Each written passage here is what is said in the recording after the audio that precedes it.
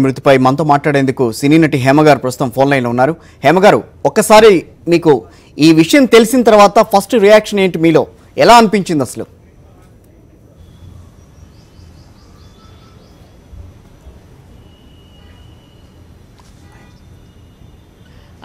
అసలు ఏదో ఛానల్ నుంచి ఫోన్ చేశారండి. మేబీ సాక్షి అనుకుంటున్నాను. ఆ, సాక్షి ఛానల్ నుంచి ఫోన్ చేసి మేడం గారు ఇవాళ వస్తారా ఇది? అంటే దేనికండి? ఏముంది ఇవాళ ప్ర ఏంటి ఇంపార్టెన్స్ అని అడుగుతుంటే ఏదేంటండి మీకు తెలియదా అన్నారు. మార్నింగ్ సెవెన్ థర్టీ ఎయిట్కి అనమాట లేదండి తెలియదు అంటే శ్రీదేవి గారు చనిపోయారా? అని కానీ శ్రీదేవి గారు చనిపోయారా? ఆ- షాక్ అండి. ఆ డైలాగ్ మాత్రం నేను మాట్లాడగలిగాను. ఆ తర్వాత నాకు అసలు ఏం అర్థం కాలేదు చాలాసేపు అసలు. అసలు నమ్మలేకపోతున్నామండి. అసలు ఏమీ లేకుండా ఆవిడ చక్కగా హ్యాపీగా ఉంటూ మనతో పాటు సరదాగా ఉంటూ ఇట్లా ఎట్లా జరిగిందనేది తెలియట్లేదండి అసలు. షాక్ అనమాట మా ఇంటికి మా అమ్మగారికి ఫోన్ చేశాను ఇమీడియట్గా మా అమ్మగారు ఏడుపు ఫోన్లో అసలు. ఏంటి ఇట్లా అయిపోయింది? అలా ఎలా అయిపోయింది? పాపం అది ఇది అని చెప్పి అమ్మ ఏడ్ చేస్తున్నారు అసలు కంట్రోల్ లేకుండా. మా మదర్కి చాలా ఇష్టం అండి శ్రీదేవి గారు అంటే. స్పీచ్లెస్ అండి. అసలు ఏం మాట్లాడాలో తెలియనంత డైలమాకి వెళ్ళిపోయాం అనమాట ఆవిడ విషయంలో మాత్రం.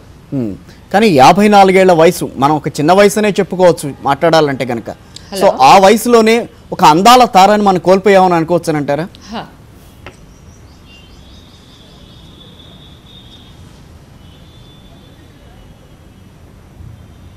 హండ్రెడ్ పర్సెంట్ అండి. అందాల తారే కదండి. ఆవిడ లెజెండ్ అండి. ఆవిడ ఫిమేల్స్ ఎవరండి అంత టాప్ మోస్ట్కి వెళ్ళారు? ఎక్కడ రాణిస్తారు చెప్పండి? అలాంటిది ఆవిడ ఒక టాప్ మోస్ట్లో హిందీలోని టాప్ మోస్ట్లో ఉన్నారు తెలుగులో టాప్ మోస్ట్లో ఉన్నారు మలయాళం ఇన్ని లాంగ్వేజ్లో ఆవిడ అక్కడ ఉండడం అనేది అసలు మళ్ళీ ఇంకొక లేడీ పుడుతుంది అంత టాప్కి వెళ్తుందని కూడా నేను అనుకోవట్లేదండి. అసలు గ్రేట్ ఆవిడ. అలాంటి మళ్ళీ వాళ్ళ పిల్లలకు కూడా అంత మంచి పేరు వస్తుందని కూడా నేను అనుకోవట్లేదు. అంటే మేబీ వాళ్ళు కష్టపడవచ్చు చేయొచ్చు రావచ్చేమో కానీ ఇప్పుడు ప్రస్తుతానికైతే ఆవిడే లెజెండ్ అండి మనకి ఉన్న ఇండస్ట్రీలో. మొత్తం అంటే సౌత్ ఇండస్ట్రీలో చూస్తే ఆవిడ టాప్. అసలు హీరోలు కూడా ఆవిడ డేట్ల కోసం వెయిట్ చేసిన రోజులు ఎన్నో ఉంటాయి కదండి. అవును. ఆ మహనీయురాలు అంటారు కదా ఆవిడ నిజంగా దేవకన్య. చాలా చిన్న ఏజ్. కాకపోతే నా ఇన్నర్ ఫీలింగ్ ఏంటంటే ఆవిడ దేవకన్యగానే దేవతల్లో కలిసిపోయారేమో అనేది అంటే అరే శ్రీదేవి ఒకప్పుడు ఇలా ఉండేదిరా ఇట్లా అయిపోయింది అలా లేకుండా ఆవిడ దేవకన్యగా మన డ్రీమ్ గర్ల్గానే ఆవిడ స్వర్గీయులు అయ్యారని నేను అనుకుంటున్నానండి. అలాగే ఒక Telugu heroine top most heroine అని అనుకోవచ్చు మనం ఒక ఒకనొక టైంలో. సో అందానికి ఎక్కువగా ప్రాధాన్యతనిచ్చే క్రమంలో ఆవిడ ఎక్కువగా దాని మీద కూడా ఎక్కువగా దృష్టి పెట్టేవాళ్ళను.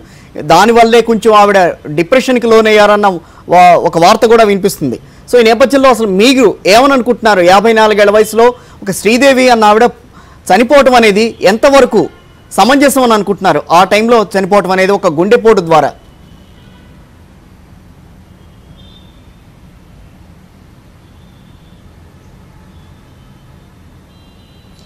సమావేశం కాదండి. కాకపోతే ఆవిడ సర్జరీలు చేయించుకున్నారు అందం మీద కాన్సన్ట్రేషన్ చేశారు దానివల్లే ఇలా అయిపోయారు అనుకోవడం కూడా న్యాయం కాదండి. ఆవిడ స్వతహాగానే అందగత్తే. ఓకే కొన్ని చిన్న చిన్న ఏమన్నా ఉంటే సర్జరీలు ఏమైనా చేయించుకుని ఉండొచ్చు కానీ నేను దాన్ని భూతద్దంలో చూడదలుచుకోలేదండి. అలా అనుకుంటే రేఖ గారండి. రేఖ గారు శ్రీదేవి గారి కంటే సీనియర్. మరి ఆవిడ ఇప్పుడు కూడా అసలు అరవై ఏళ్ళు అనుకుంటాను రేఖ గారికి. సో ఆవిడ ఇప్పుడు కూడా అందంగానే ఉన్నారండి. ఆవిడకి హెల్త్ ఇష్యూస్ ఏం లేవు కదండి. సో ఇది ఎలా జరిగిందో ఏం జరిగిందో ఒక మిస్టరీ అని మీ ఛానల్ నుంచే నేను చూస్తున్నాను నేను. ఇది ఏం జరిగింది అనేది ఇంతవరకు మనకి రిపోర్ట్ రాలేదు. కానీ ఆవిడ అందంగా ఉండడానికి ట్రై చేసి ఇబ్బంది పడ్డారు అనుకోవడంలో న్యాయం లేదనిపిస్తుందండి నాకు. రైట్ ఇప్పుడు ఇప్పుడున్న పరిస్థితుల్లో తెలుగు సినీ పరిశ్రమకి ఎటువంటి లోటు ఉంటుంది అని అనుకుంటున్నారు మీరు?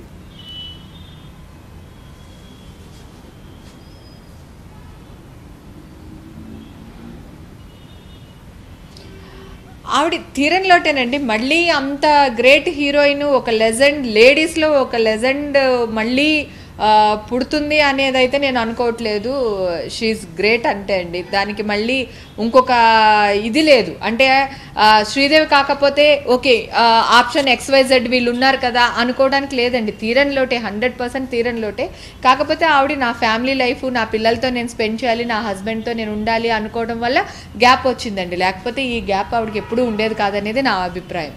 అలాగే హేమ గారు చిన్నప్పటి నుంచి రకరకాల వేషాలు వేస్తూ సినీ పరిశ్రమలో తనదైన ముద్ర వేసుకుంటూ వచ్చారు శ్రీదేవి. సో అలాంటి లెజెండ్ ఇప్పుడు ఎవరన్నా ఉన్నారని అనుకుంటున్నారా? అలాంటి లెజెండ్ మంది పొందడం అనేది ఏమన్నా సాధ్యం అవుతుందా?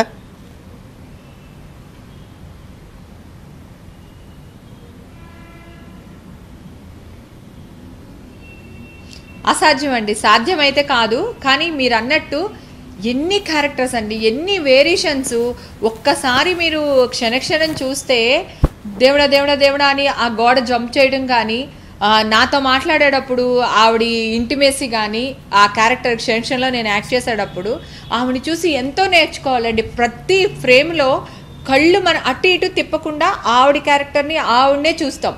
అంటే బాడీ లాంగ్వేజ్ దగ్గర నుంచి కళ్ళ దగ్గర నుంచి మొహంలో ఉన్న ఎక్స్ప్రెషన్స్తో సహా ఆవిడ మనల్ని స్క్రీన్ మీద ఆవిడ ఉంటే మనం పక్కన ఏ ఆర్టిస్ట్ని చూడవండి అంత డామినేటింగ్గా యాక్ట్ చేస్తారు? అంత డామినేటింగ్ పర్సనాలిటీ అంత డామినేటింగ్ అందం. అంటే ఒక అందం ఒక్కటే ఉంటే ఇండస్ట్రీలో ఆవిడ ఈ రోజు ఈ టాప్ లెవెల్కి వెళ్ళేవాళ్ళు కాదండి.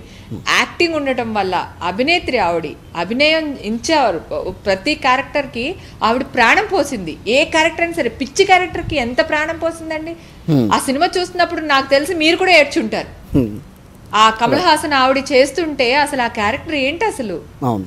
అద్భుతాలు సృష్టించిందండి ఆవిడ. ఒక పోలీస్ ఆఫీసర్గా చేసినా అంతే. ఒక డాక్టర్గా చేసినా ఒక హౌస్ వైఫ్గా చేసినా ఒక లేనింటి అమ్మాయిగా చేసినా అసలు ఎన్ని క్యారెక్టర్స్ అండి. కోటీశ్వరాల క్యారెక్టర్ చేసిన ఎన్ని వేరియేషన్స్ ఎన్ని క్యారెక్టర్స్. ఆవిడ చేసిన అన్ని క్యారెక్టర్స్ ఆపర్చునిటీ ఇప్పుడు ఒకవేళ ఎంత టాలెంట్ ఉన్నా ఒక హీరోయిన్కి అన్ని వేరియేషన్స్ అన్ని క్యారెక్టర్స్ రావడం అంతమంది హీరోయిన్తో హీరోలతో యాక్ట్ చేయడం అనేది కష్టం అండి. అది కాకుండా అన్ని లాంగ్వేజ్లో సక్సెస్ఫుల్ అండి ఆవిడ. ఓ- ఈ లాంగ్వేజ్ ఆ లాంగ్వేజ్ అని కాదు. అది గొప్పతనం అండి. అది ఆవిడ ఒక్కతే ఆవిడే జగతిక అతిలోక సుందరి టైటిల్ ఆవిడ ఆప్ట్ అండి. మళ్ళీ ఇంకొక అతిలోక సుందరిని నేను చూస్తానని నేను అనుకోవట్లేదు. ఇన్ని వేరియేషన్స్ ఉన్న క్యారెక్టర్స్ ఒక హీరోయిన్కి పడతాయి ఇప్పుడున్న జనరేషన్లో అని కూడా నేను అనుకోవట్లేదు. రైట్ థ్యాంక్ యూ హేమ గారు. మాతో జాయిన్ మీ అభిప్రాయం తెలియజేసినందుకు.